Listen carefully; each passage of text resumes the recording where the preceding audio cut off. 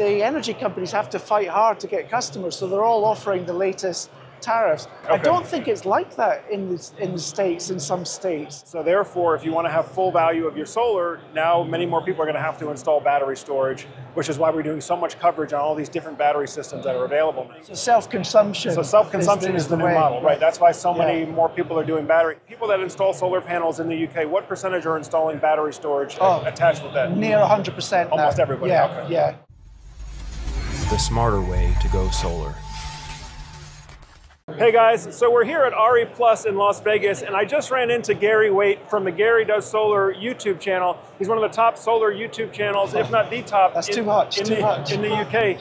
But uh, you know, Gary, one of the things that we've we've seen this year Yeah. is a lot of international companies are now coming into the U.S. market, uh, particularly uh, battery storage companies. Yeah. But I, I think one thing that the U.S. audience might be surprised to know, know is that the, the European solar market is about 10 years ahead of where we are in terms of maturity and adoption. I think that's why you've seen a lot of companies, Yeah. like you had mentioned, you you checked in on Sigenergy. Uh, but you've seen a lot of companies that have had a lot of success in Europe that are now coming into the U.S. now that everything seems to be going more towards batteries Yeah. here in the U.S. But what, what caused you to want to come and attend our, our solar conference this year? Well, actually, uh, it was really two people. Um, I did an interview with Martina at Solar Time USA, and I've watched all of your videos. So you've actually given me a really good indication of what the US market is like. I knew this show was on. Uh, I'm actually going on holiday after this, so I thought I'd pop by and come in and use this time to uh, hopefully meet people like yourself and just get a feel for the US market because you're right. It is. It does seem to be very different from the the market in the UK where I live and in Europe and even places like Australia.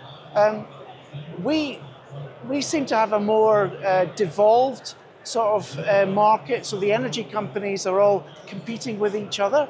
So you might have about 10 energy companies in the UK, which gives consumer choice, which means the energy companies have to fight hard to get customers. So they're all offering the latest tariffs. I don't think it's like that in the, in the States, in some states. Um, Most- so I wanted to understand it, yeah. Yeah, yeah. Most states here, it's not on a statewide basis, but you, you typically only have one power company based on your geography. So it's a monopoly. So it's a monopoly. It's a state. yeah. It's a state-sponsored or it's, it's a local government-sponsored monopoly in that territory.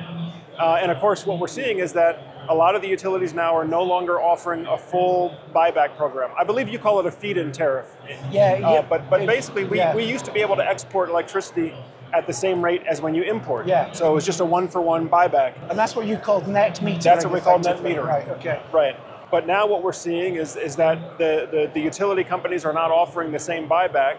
So therefore, if you want to have full value of your solar, now many more people are going to have to install battery storage, which is why we're doing so much coverage on all these different battery systems that are available now. Right, okay. So in the UK, um, we used to what we call solar export. Okay. And you used to get paid maybe, if I do it in cents, maybe about seven cents per kilowatt hour, Okay. whereas you were buying for maybe 30 cents. Okay. But now it's gone up, so it's probably about 18 cents for any for every kilowatt hour that you export, and you're buying at about about the same amount. So it's actually still quite high. Um, but I have a feeling we're going to follow the US, and those rates are just going to go down and down and down. The export rates all the time. Whereas the import rates, the, the, the, what you pay for electricity is just going up. Right, Uh, right. What are you seeing in the States? Is, that, is it the same or? Well, actually, what you described is, is kind of like a two for one buyback. So you Yeah, have, you have to send right, them yeah, two, you can yeah. take back one. That's not so bad. Yeah. But, but what we're seeing here is that there, it's, it's more like five or six to one. Oh, right. ratio, right? If, you know, if you want to sell to the power company, you're selling them five or six kilowatt hours during daylight to just take one back during the evening. So self-consumption. So self-consumption is the, new way. model, right? That's why so many Yeah. more people are doing battery. Yeah. Now, what, what percentage would you say people that install solar panels in the UK? What percentage are installing battery storage Oh. attached with that? near 100% now. Almost everybody, Yeah, okay. yeah. Um, partly because the battery technology is a lot cheaper, and we don't get as much sun as you have in many of the states here. So when we get the sun, we can't always use it. So we, we need to capture it somehow so that we can use it later in the evening and things like this. Uh, but yeah, pretty much everyone who gets solar now in the UK gets a battery to go with it. And uh, as ba- battery prices are coming down, which is great, so hopefully more and more people will get solar.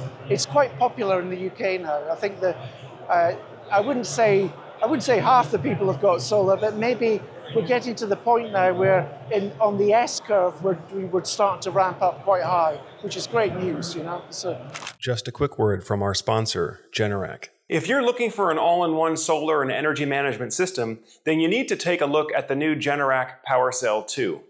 PWRCell 2 gives you total control of your home's energy system, incorporating solar power, whole house backup, intelligent load control, and generator support seamlessly integrated on a single platform. PWRCell 2 uses an AC coupled architecture to facilitate ease of installation for new systems and retrofitting battery storage to existing solar homes. So if you'd like to learn more information, then go to the PWRCell website or click the link in the description below so you can get in touch with an installer right away. Interesting. I mean, here in the states, I think it's it's about six percent of U.S. homes have solar panels installed. Right, It might okay. be slightly higher than that now. Yeah. But what we are seeing is that, that the battery attachment rate is much higher now.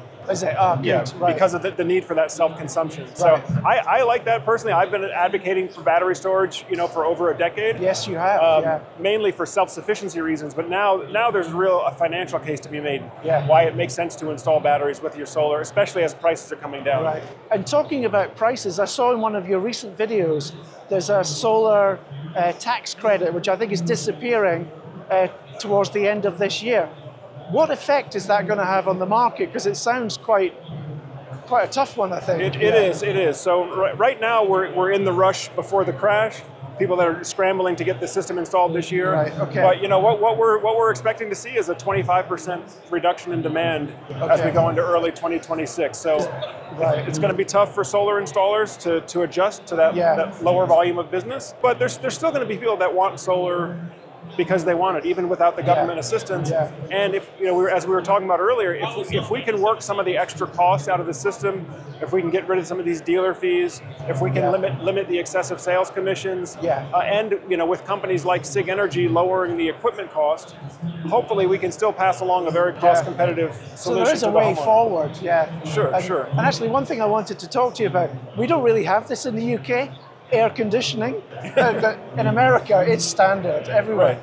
But isn't that a great way to soak up all that solar generation that a customer might have during the day? So they don't need to export it, do they? A- Yeah, absolutely. Especially if, if your system is designed properly, you know, Yeah. you, you can design your solar system to maximize production during the, the, the afternoon hours when the air conditioning tends to work the hardest. yeah. If you have a Western-oriented solar array, it's going to be producing the most Yeah. solar during those hours, so it's great for self-consumption. That's perfect, yeah. Yeah. So in the UK and parts of Europe, heat pumps are becoming more and more popular. So most of the houses in the UK are supplied by natural gas. Okay. Um, and I think now there's a shift towards heat pumps. It's a bit slow, but I think it's starting now.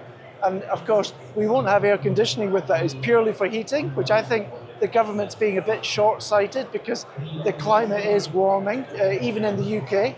Um, but it's good to see, you know, the technology is improving all the time.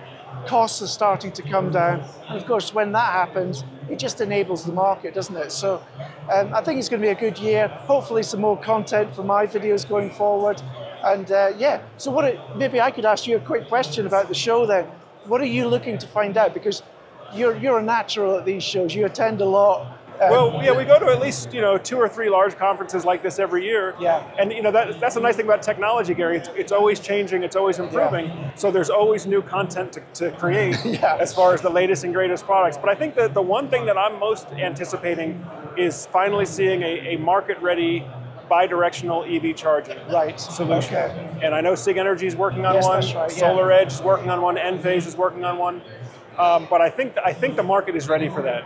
Is this idea that if I have my electric vehicle and I've already invested in my electric vehicle battery, Yeah. I want to be able to plug that into my home and utilize that battery Yeah. in, in many different applications, whether it's for backup power, uh, for export to the grid, for grid Yeah. arbitrage, but whatever it may be, I want that vehicle to be an integrated part of my, my home's energy Yeah, because it's an asset that you've got. So why not use it for other things than just driving? yeah. Now, do you do you drive an electric vehicle yourself? I do. We've Okay. had one for about a year now. We absolutely love it. So what, do you- what do you have? Tesla? Or? No, no, it's a Kia e-Niro, so it's a Kia, okay. It's it's not one of the newer cars, but I would like to get a Tesla. I quite like the, the new Tesla Model Y, um, so I'm looking at that.